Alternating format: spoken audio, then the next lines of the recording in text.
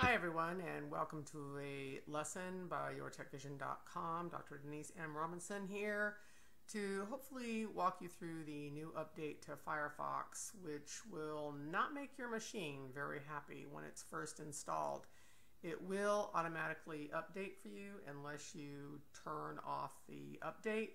However, you will have a huge security risk if you do not update. So here are the fixes.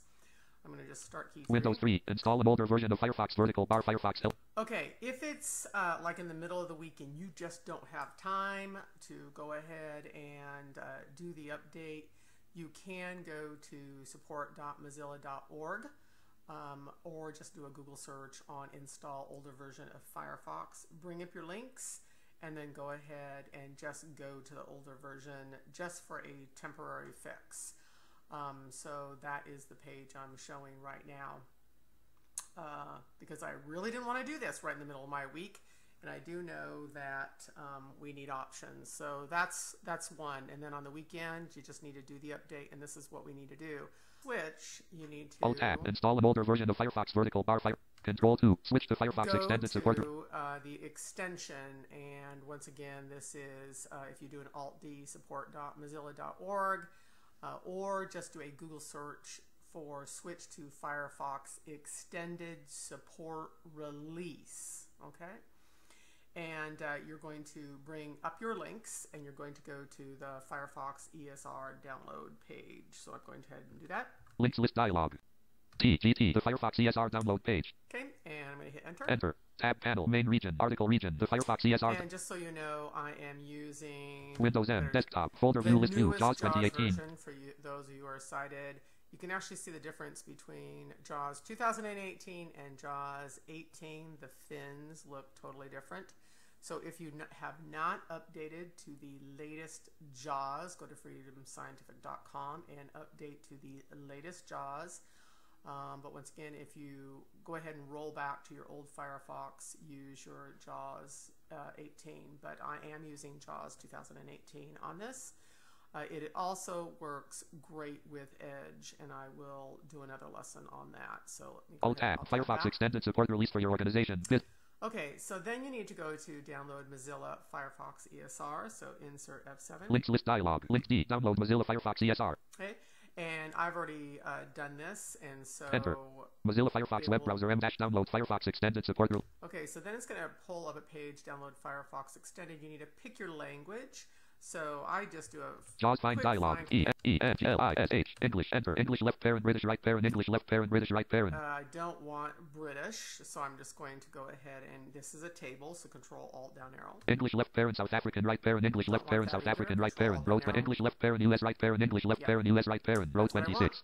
And now I like to just down arrow. I am a big believer in hitting every single pixel along my page, especially if it's a new page. So I'm going to down arrow. Link download. Yeah, that's the one I want. So that's 64-bit.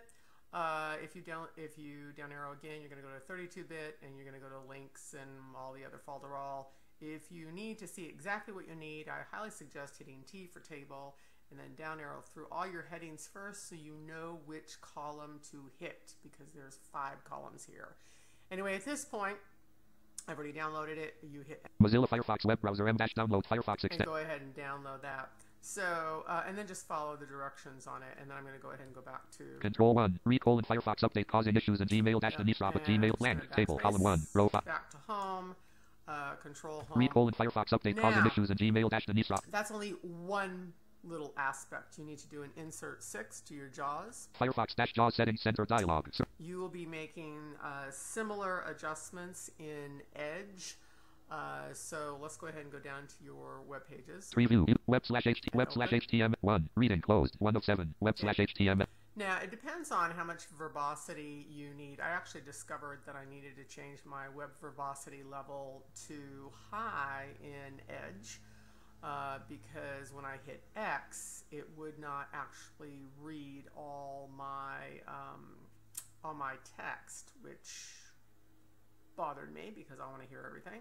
Let's go ahead and go down to navigation. Navigation closed. Now, this is a big one right here. You're going to hit F6, go over to your smart navigation mode. Now, I've always used this as off. I'm I like to take control of what my talking software is doing, so I've always used that as off. You need to make sure that it is simple layout. So when you tab to document presentation mode, make sure it's simple layout. Now in Edge, it automatically pops to screen layout.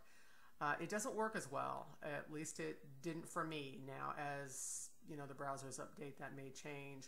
But simple layout just uh, works better. I can fly around pretty consistently on that. Um, now, if you have not done so, go uh, Images. go ahead go down to your miscellaneous. Miscellaneous closed. And uh, now you need to go ahead and F6 and you need to enable Microsoft Edge browser support on this. Mine's already uh, checked on that, so you do need to enable that. So I'm going to hit escape. So that's for Firefox, and then you're going Escape, to go inbox, left parent, Edge. So I'm going to go ahead and go to Edge. Windows 1. Inbox left parent 124 right parent. Okay, and I'm just going to hit my X. Unread. Rebecca Sheffield. Left bracket air net right bracket today's the day. Take action for students with blank. Now, Unread. Rebecca Sheffield. Left bracket air net right bracket today's the day. Take action for students with vision loss. 9. and uh, you can go ahead and down arrow. Blank. Rebecca Sheffield. And it in, it allows you to take better control. Once again, uh, arrow keys move you one pixel at a time. If you're a fast listener, that's great. Hit X, move through, but for my beginner students, it just moves too quickly, and so I have them down arrow. Link left bracket air net right bracket today's the day. Take action for students with vision loss. Dash view this email in your browser. So at that point, Enter. Left bracket arrow, air net right bracket today's the day. Take action for students with vision loss. and then just down arrow. Graphic not important. Inbox button. Blank. Link graphic Gmail couldn't verify that app.net actually sent this message. So then all you have to do is just down arrow, and this is true in Firefox also. You enter and open, just down arrow, it pops you right to your main region area. Okay, I hope that helps.